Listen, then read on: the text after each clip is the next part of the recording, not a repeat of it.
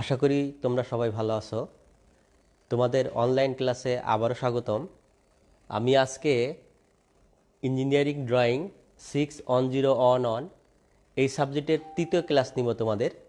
এর আগে আরও দুটি ক্লাস নিয়েছি। এই দুটি ক্লাসে আমি মূলত কীভাবে লেটারিংয়ের জন্য বক্স তৈরি করা হয় বা ঘর কাটা হয়, আমার স্ক্রিনে দেখানো আছে, সেটা দেখিয়েছি। যেহেতু ক্লাসে সময় কম পাওয়া যাবে এই জন্য আমি আগে থেকেই ঘরগুলো টেনে রেখেছি। আর তোমাদেরকে টেনে রাখতে বলেছিলাম, যাদের ঘরগুলো টানা আছে, তারা আমার সাথে আজকে লেটারিং শুরু করব। আসলে এই লেটারিংগুলো কোন কাজে ব্যবহার হয়, সেটা আমি আগে বলেছিলাম, আবারও মনে করে দিই। মূলত আমরা হেডিং মানে কোনো কিছুর যদি আমরা হেডলাইন লিখি, পেপারের ক্ষেত্রে বলে হেডলাইন আর যদি ড্রয়িংয়ের ক্ষেত্রে লিখি, তাহলে বলে হেডিং তাহলে হেডিং লেখার ক্ষেত্রে মূলত আমরা এই লেটারিংগুলা ব্যবহার হয় বা অক্ষরগুলা ব্যবহার হয় মূলত এখানে ক্যাপিটাল লেটারগুলো আমরা লিখব। আমি শুরু করি। আমরা এখানে এ থেকে জেড পর্যন্ত লিখব এবং ওয়ান থেকে একবারে নাইন এবং জিরো লিখব। আমরা লেখা শুরু করি তাহলে। তোমরা, তোমাদের কাছে যদি ইঞ্জিনিয়ারিং ড্রয়িং বই থাকে, তাহলে বইটা খুলে নিতে পারো। আমি আজকে যে লেটারিংটা লিখব এটা মূলত ফাইভ ইস টু ফোর অনুপাতে লেখা হবে। ফাইভ ইস টু ফোর এই অনুপাতে। অর্থাৎ আমাদের ভার্টিক্যালি থাকবে হলো পাঁচটা ঘর। তোমরা এখানে দেখলে বুঝতে পারছ যে এখানে পাঁচটা ঘর আছে। One two three four five মানে ভার্টিক্যালি আমার পাঁচটা ঘর থাকবে এবং হরিজেন্টালি চারটা চারটা ঘর নিয়ে আমি এক একটা লেটার লিখব বা বর্ণ লিখব। এবং দুইটা লেটারের মাঝে আমরা একটা করে ঘর ফাঁকা রাখব। আমরা শুরু করি তাহলে। আমরা যদি এ লিখতে চাই, তাহলে সহজ বুদ্ধি, তোমরা বইয়ের সাথে মিলিয়ে নিতে পারো। আমরা যে দুই পয়েন্ট যোগ করব, আগে আমরা দুইটা বিন্দু নিয়ে নিলাম তারপরে দুইটা বিন্দু যদি আমরা এভাবে যোগ করি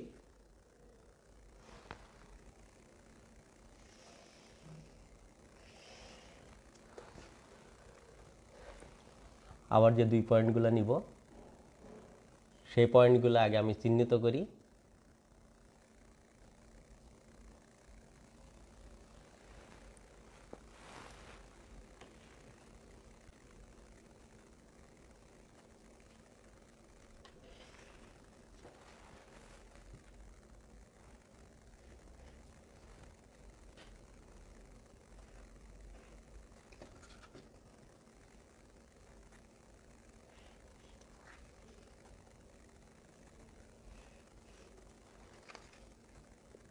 আমরা মূলত এ বর্ণ আঁকছি প্রথমে।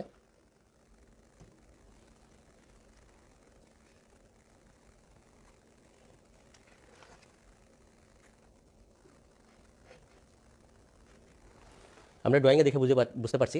এখানে আমি রেড কালার দিয়ে এঁকেছি রেড কালার মার্কার দিয়ে এ লেটারিংয়ের প্রথম অক্ষর এ আমি যদি এখন বি আঁকতে চাই, তাহলে আমরা এক ঘর বাদ দিব, দিয়ে আমরা বি লেখা শুরু করি। বির ক্ষেত্রে প্রথমে একটা ভার্টিক্যাল লাইন আছে।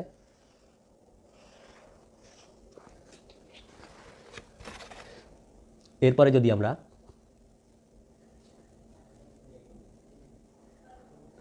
রাউন্ডগুলো মূলত আমাদের ফ্রি হ্যান্ডেই আঁকতে হবে। হরিজেন্টাল এবং ভার্টিক্যাল রেখাগুলো আমরা স্কেল বা আমি এখানে সেটি স্কোয়ারের একটা ত্রিভুজ ফোর্টি ফাইভ ডিগ্রি অ্যাঙ্গেলের যে ত্রিভুজটা আছে সেটা ব্যবহার করেছি।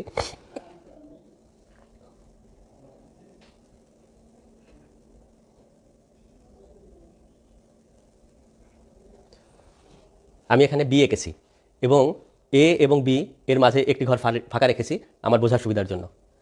এরপরে আমরা যদি সি লিখতে চাই,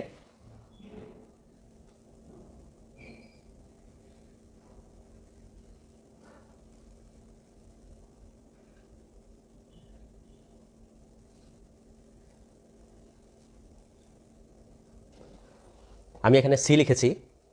এরপরে আমরা ফোর্থ যে লেটারটা আছে ডি সেটা লিখব।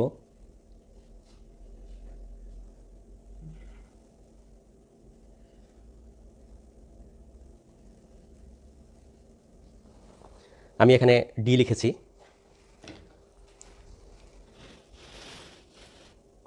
এরপরে যদি ই লিখতে চাই, আরেক ঘর বাদ দিয়ে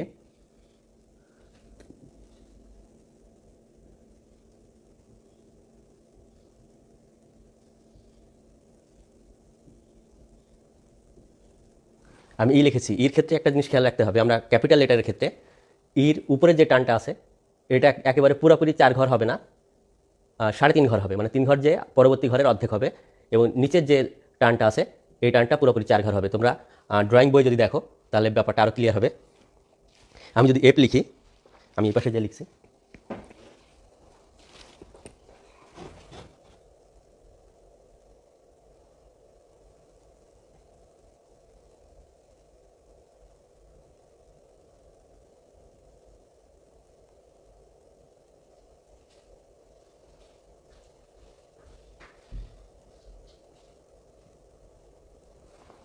আমি এখানে লেটারিং এফ লিখেছি। আমি তার পরবর্তী যে লেটার আছে জি আমি এবার জি লিখব। মূলত কর্নারগুলো আমরা রাউন্ড করব।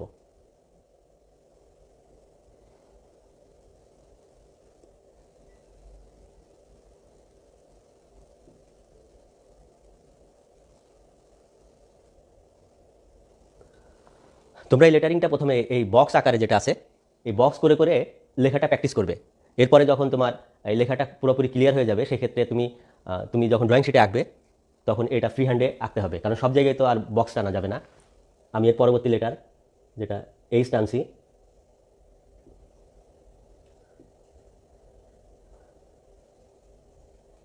যেহেতু ক্লাসের সময় কম, এই জন্য আমি ফ্রি হ্যান্ডে খুব দ্রুত এঁকে দিচ্ছি। তোমরা অবশ্যই স্কেল ব্যবহার করবে, তাহলে লেখাগুলো আরও সোজা হবে। আমি এইচ বন লেটার রাখলাম। এরপরে যদি আমি লিখি আই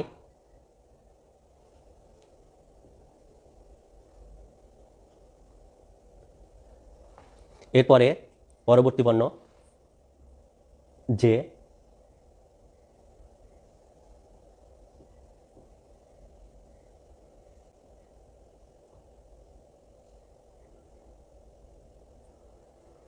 আমি এখানে যে পর্যন্ত কমপ্লিট করেছি। আমরা চাইলে এখন কিছু কিছু অংশ মুছে দিতে পারি এখানে।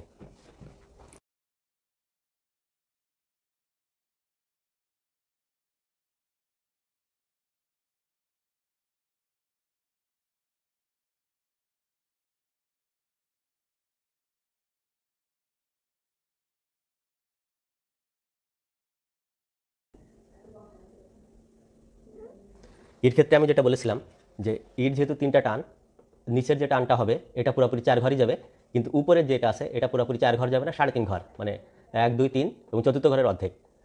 এটা একটু খেয়াল রাখতে হবে এর ক্ষেত্রে। এরপরে আমরা এফ দেখব।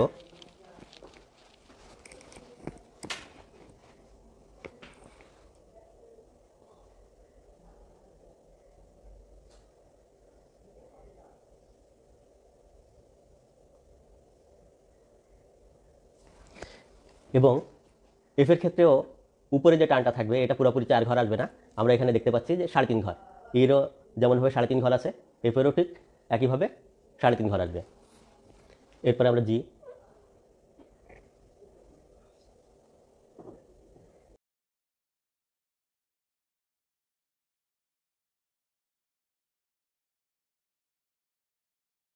আমি মূলত এই কর্নারগুলা রাউন্ড বা গোলাকার করে দিয়েছি।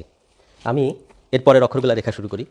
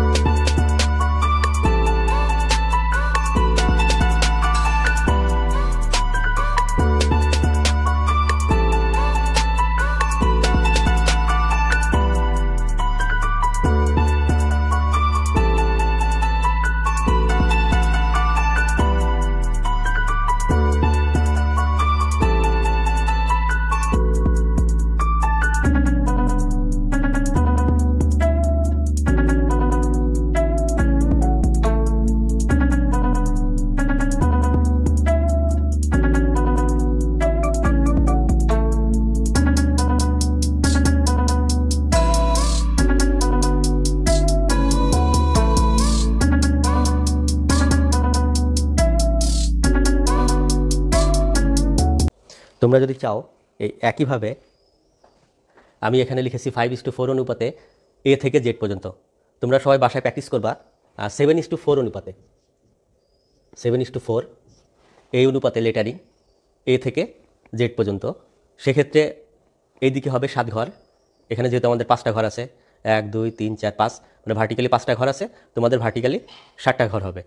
আর হরিজেন্টালি যেহেতু এখানে ফোর এখানেও ফোর মানে হরিজেন্টালি কোনো সমস্যা নেই মানে আনুভাবে চারটা ঘর হবে। সেক্ষেত্রে লেখাগুলো একটু হাইট বেশি হবে। তোমরা এটা বাসায় প্র্যাকটিস করবা। আমি এখন এক, দুই, তিন এইভাবে মানে ওয়ান টু থ্রি টেন পর্যন্ত লেখাটা দেখাই দিই খুব দ্রুত। ফ্রি হ্যান্ডে লিখছি।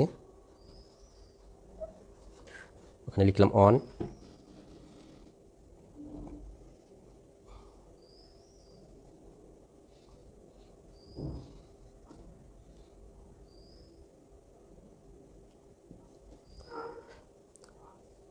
এরপর লিখছে টু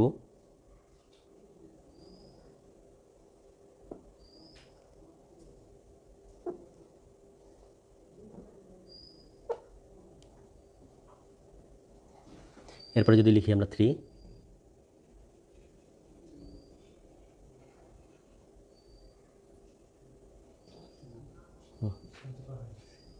সমস্যা নেই।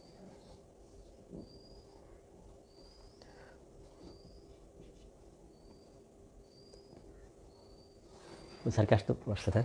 তোমরা এইভাবে ওয়ান টু থ্রি এইভাবে জিরো পর্যন্ত লিখবে।